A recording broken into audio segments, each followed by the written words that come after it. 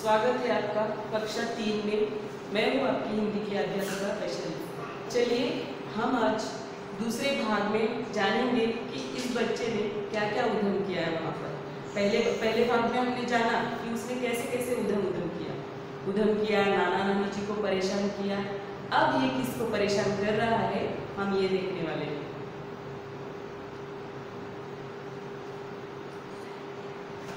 गरम कचौड़ी सुबह को एक, दूध जलेबी पहले एक।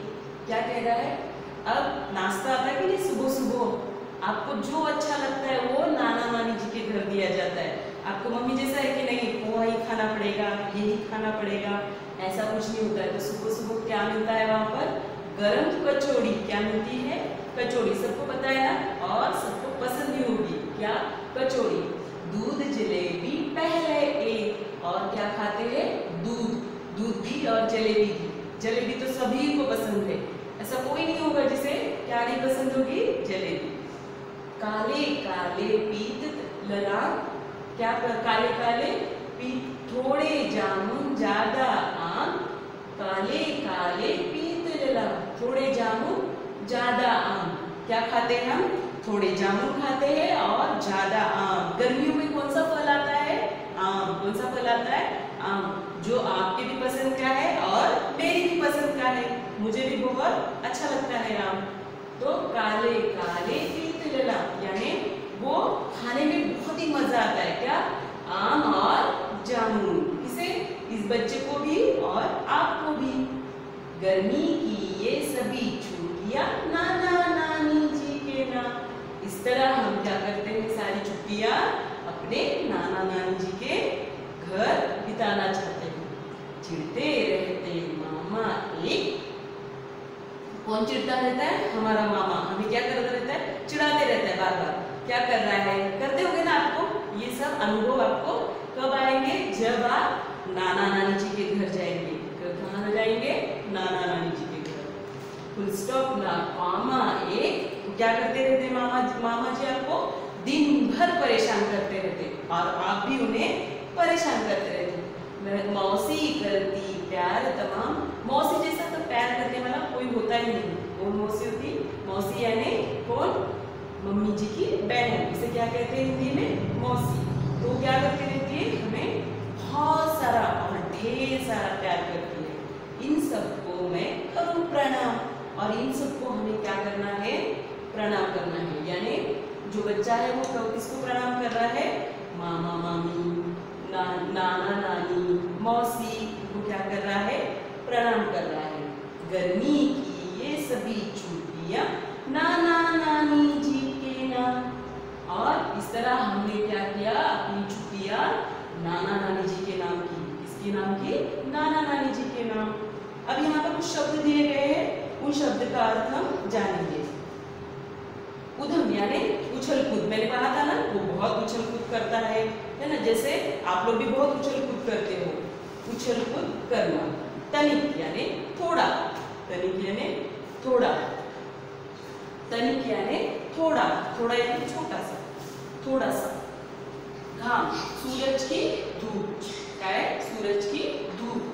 पीत, पीला रंग, यानी पक्के आम का रंग। जैसे आपका पक्के आम पता है ना आपको? आम का रंग कैसा होता है? पक्के आम का रंग पीत पीला पीत पीला।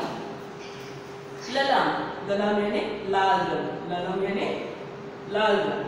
मनोहर, श्रेष्ठ और फुल स्टॉप जो पूर्ण विराम का चिन्ह होता है, हम देते हैं ना, जब हमारा वाक्य पूर्ण होता है तो कौन सा देते हैं, पूर्ण विराम का चिन्ह देते हैं।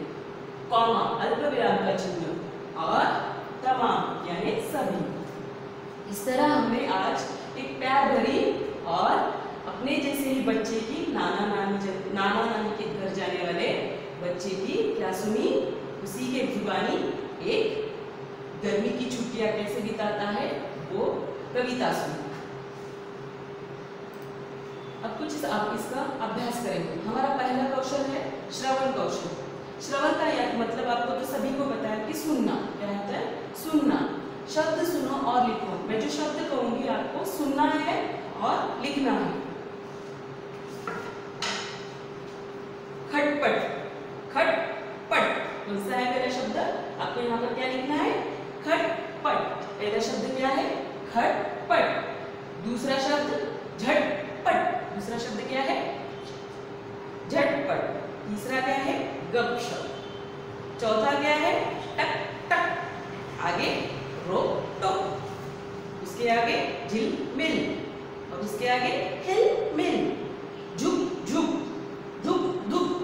खुट खुट। इस तरह हमने ये शब्द दे आपने सुने हैं, जितने आपको याद रहेंगे, उतने लिखिए चलेगा अब है पठन का मतलब भी आपको पता है हम दो, हम दोनों कक्षा में इसका अभ्यास कर चुके हैं।